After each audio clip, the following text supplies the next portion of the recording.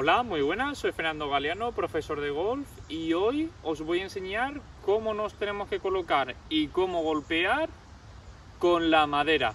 Y también os voy a enseñar un ejercicio para pegarle bien con la madera.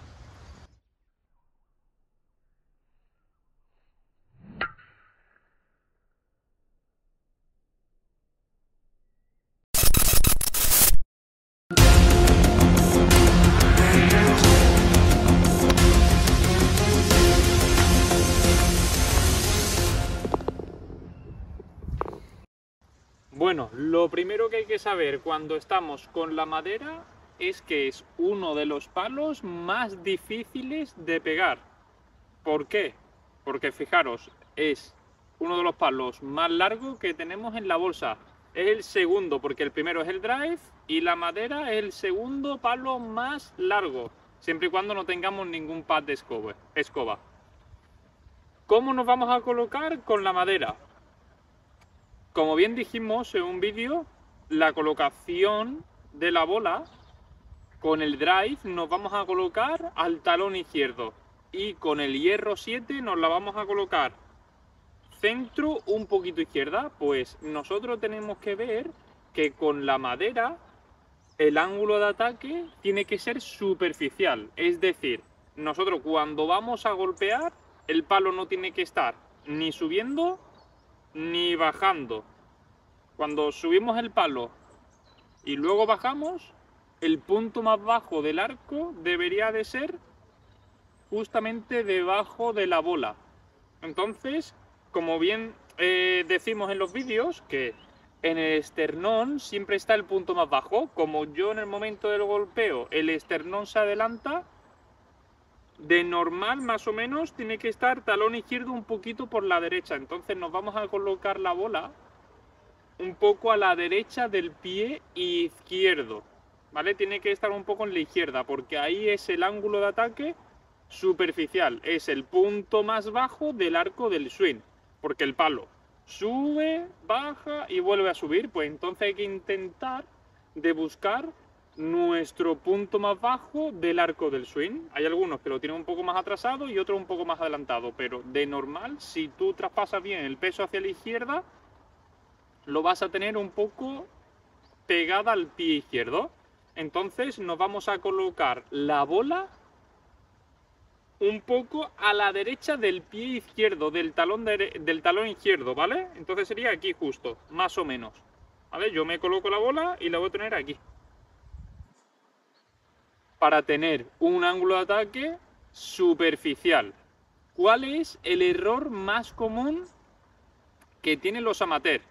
Pues, como es un palo que tiene muy pocos grados, fijaros, mi madera 3 tiene 14 grados y medio, pero de normal 15, sí, 14, 16 como mucho. ¿Qué es lo que pasa? Al tener muy pocos grados, la bola va a salir muy baja para que la bola salga un poco más alta tenemos que impactar bien a la bola y le tenemos que dar un poco de velocidad. Si yo golpeo con muy poca velocidad, la bola no va a salir. Entonces yo le tengo que dar mucha velocidad. ¿Qué es lo que pasa? Para los principiantes que todavía tienen muy poca velocidad no se le aconseja la madera, porque al no tener velocidad no va a levantar la bola. Antiguamente eh, había hierro 2, hierro 1, pero muy poco común. ¿Qué es lo que pasa? Hicieron las maderas para tener el centro de gravedad más, más aquí, más atrás, más en el centro de la cara del palo, para que así sea más fácil levantar la bola. Siempre aconsejo que si eh, no, no golpeamos bien la madera 3, pasamos al híbrido, si tenemos un híbrido, si no, madera 5 pero lo mejor es el híbrido. La cara del palo es un poco más pequeña, tiene mucho más grados y, la, y el palo es más corto y va a ser mucho más sencillo de levantar la bola. ¿Cómo sería el swing? El swing, como es un palo muy largo con la, la madera, siempre nos estamos refiriendo a la madera. El swing va a ser horizontal, casi parecido al drive. Fijaros, la diferencia entre el drive y, la madera, nada, muy poca diferencia. Y si lo pasamos al hierro 7, vais a ver una diferencia muy grande. Fijaros. Entonces, cuando eh, jugamos con la madera, el swing va a ser un poco más horizontal, porque te lo pide el palo, porque el palo es muy largo y nos vamos a colocar muy lejos de la bola.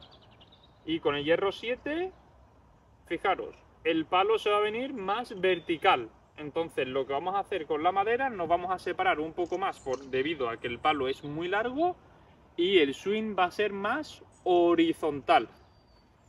Y otro detalle muy importante cuando vamos a jugar con la madera es, ya que tiene muy pocos grados y tenemos que llegar con un ángulo de ataque superficial, es decir, el punto más bajo del arco tiene que ser justamente debajo de la bola, tenemos que ver, cuando vayamos a coger la madera, primero tenemos que ver cómo está la bola. Si la bola está un poco hundida o está en RAF, nos olvidamos completamente de jugar, bueno, de coger la, de la madera. Ni la podemos mirar. Siempre y cuando estemos en calle y la bola está bien colocada, usamos la madera. Pero si está un poco hundida, se va a complicar muchísimo que el palo pase por debajo. Entonces, siempre vamos a coger la madera en la calle cuando está perfecta colocada. El error común de los amateurs, o de la mayoría de la gente, de la mayoría de los jugadores, es que en el momento del impacto, como la bola sale muy baja, quieren levantarla. ¿Y qué es lo que pasa? Quieren levantarla y lo que hacen es levantarla con el cuerpo y como es un palo que te exige mucho que llegues perfecto, por eso es muy difícil, porque el, punto más bajo del arco debería estar debajo de la bola, eh, al quedarte un poquito por detrás, ya vas a impactar muy por detrás.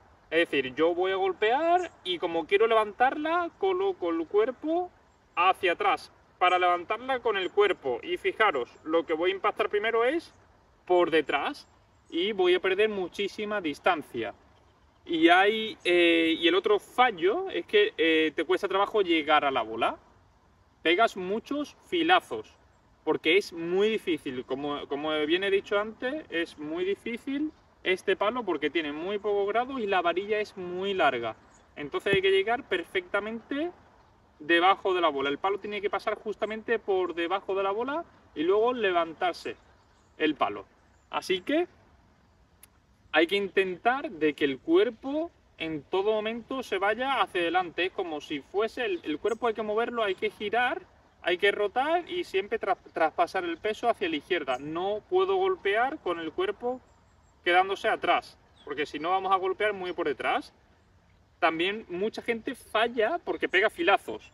Entonces siempre hay que intentar, previamente, lo que a mí me gusta es colocarme justamente una línea recta y hacer varios swings de práctica y ver cómo peino justamente en la línea de la bola, que es donde yo tenía el palo.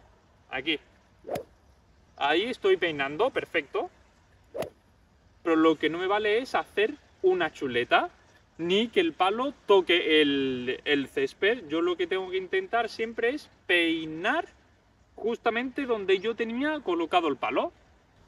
En el ejercicio para pegar bien la madera desde la calle, lo que vamos a hacer es coger un tee. Lo que tenemos que hacer es, lo vamos a colocar de esta forma, que es mucho más fino. Tenemos que intentar de golpear y que el tee salga hacia adelante. Si salta hacia arriba es porque le hemos dado por esta parte y va a saltar hacia arriba y significa que le hemos pegado como un poco filazo. Y para darle, para que vaya para allá, el palo tiene que llegar perfectamente y es como empujar el tee hacia allí. Pues eso es lo que tenemos que intentar de hacer cuando estamos en la bola. De golpear justamente un poquito por debajo para que el palo, el palo pase justamente debajo de la bola.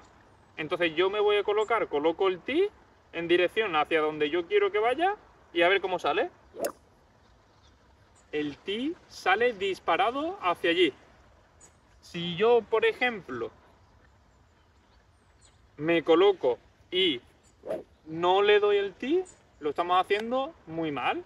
Y si, por ejemplo, yo veo que golpeo muy por detrás y no le doy el ti, otro fallo. Hay que intentar de empujar hacia adelante el tee. Y cuando estamos jugando y no le damos a, a la bola o nos cuesta muchísimo trabajo de levantar la bola, siempre comenzamos con un pequeño tee. Colocamos una bola y el tee así de alto, es decir, que la bola esté un poquito alta, luego lo vamos bajando un poco más, un poco más, un poco más, un poco más, hasta golpear desde el suelo. Pero siempre os recomiendo de comenzar con el tee, poniendo el tee un poquito alto, que sobresalga media bolita y luego ir bajando más el tee, lo vamos bajando más, seguimos pegando bola y cuando vemos que la bola va saliendo bastante bien y estamos ya casi a ras de suelo, quitamos el tee y le vamos dando sin tee. Y ya verás como así poco a poco vamos acostumbrando nuestro cuerpo a que el palo llegue a darle el tee y que el palo pase por debajo de la bola. Bueno, espero que os haya gustado este vídeo. Si es así, eh, dale like y suscríbete para más contenido. Al fin y al cabo el palo, eh, la madera es muy complicada porque es muy largo y tiene muy pocos grados. Recordad el siempre comenzar con un ti y luego ir bajándolo poco a poco hasta llegar al suelo y luego el ejercicio de colocar el ti, eso es muy importante porque así vas asimilando tu cuerpo a darle al ti y el ti está pegado al suelo y así poco a poco vas acostumbrando tu cuerpo a hacer un swing para que el palo toque, peine la hierba, peine la hierba para que el ti salga hacia adelante. Entonces yo voy a comenzar con un pequeño ti porque con la madera soy malísimo. Eh, voy a golpear una, voy a entrenar y nos vemos en el siguiente vídeo.